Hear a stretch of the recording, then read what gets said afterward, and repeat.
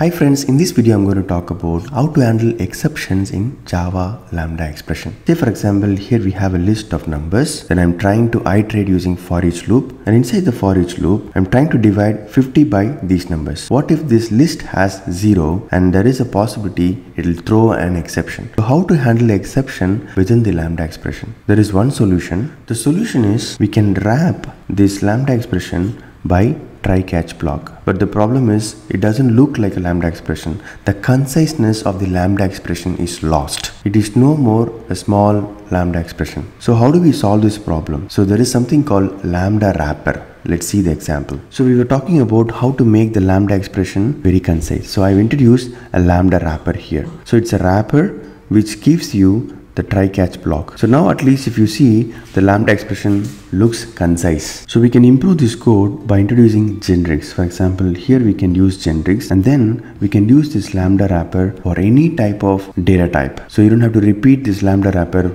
for different types of lambda expression. So this is how we can handle the exceptions in Java lambda expression to make the lambda expression very concise. Please try out. Hope this information is helpful. All the best for your career. Please subscribe to interview.channel. Thank you.